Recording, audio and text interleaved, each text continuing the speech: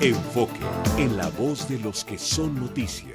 Así que la ausencia de pernos que no se podían ver, pero además un diseño que de origen tú lo podías ver y decir no tiene ningún problema, a la hora del, colapso se torsiona porque pierde la capacidad de resistencia que había encontrado y en menos de dos segundos se desprende, jala una de las, de las vigas, jala la otra y viene el colapso cuando va pasando los últimos dos vagones del mundo.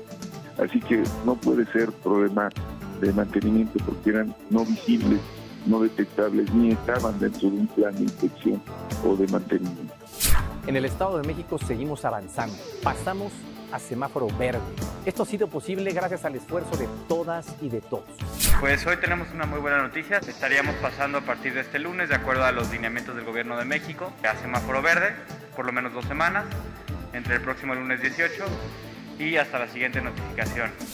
Esta tercera ola claramente está en descenso. Llevamos 11 semanas consecutivas en descenso sostenido de todos los indicadores de la pandemia y hasta el momento tenemos una reducción general del 78% en la ocupación hospitalaria. En otras palabras, solo el 26% de las camas generales y el 24% de las camas con ventilador permanecen ocupadas.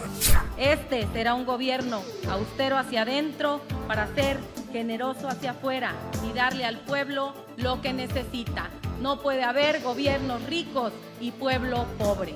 Aquí vamos a trabajar de la mano para sacar adelante a nuestro Estado todas y todos.